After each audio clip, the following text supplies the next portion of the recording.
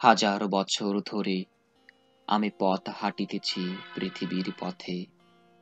সিংহল সমুদ্র থেকে নিশীতের অন্ধকারে, মালয় সাগরে অনেক ঘুরেছি আমি।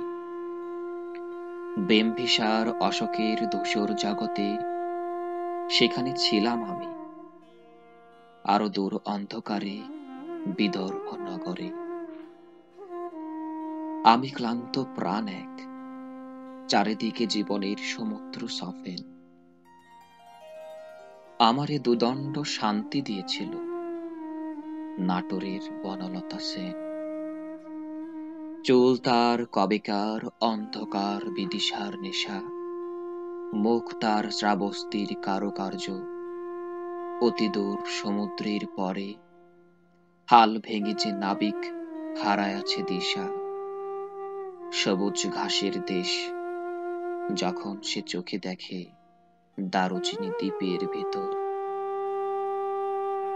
তেমনি দেখেছি তারে অন্ধকারে।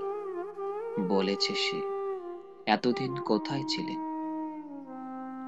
পাখির নীরের মতো চোখ তুলে নাটোরের বনলতা সে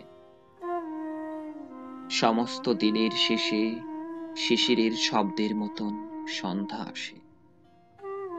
ডানার রৌদ্রের গন্ধ মুছে ফেলে চিল পৃথিবীর সব রং নিভে গেলে পাণ্ডুলিপি করে আয়োজন।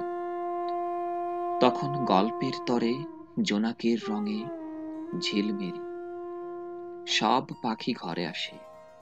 সব নদী ফুরায়ে জীবনের সব লেনদেন। থাকে শুধু অন্ধকার। মুখোমুখি বসিবার বনলতা সেন।